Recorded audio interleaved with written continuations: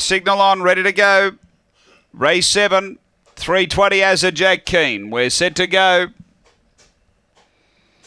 Away, and there's pace down out wide here. Rupert's going to push on, trying to go with it. Velocity Tina. Rupert's going to cross and lead. Velocity Tina through to second. Uh, behind those, as a Jack Keen, Gary McBain. Uh, then Scorch and Lil. A breakaway Wonder Lace from Honey Girl. And here comes Henry back at the tail, down the back. Front runner Rupert. Out by three to Velocity Tina. Uh, then Jack Keen, and next Gary McBain. But on the turn, Rupert straight and nicely clear of Velocity Tina. And Rupert's going to go on and win win well. Rupert first, Velocity Tina second, third as a Jack Keen, fourth I got no idea. Uh, maybe here comes Henry, but Gary McBain wasn't far away and close up. Wonder Lace. Uh, then we had Honey Girl. Behind those was uh, back toward the tail end. Uh, Scorch and Lil, 31-39 the time.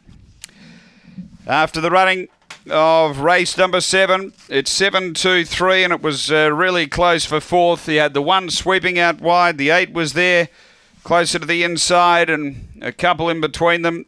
So we'll stand by for that fourth number. But seven, Rupert first. A uh, Adam.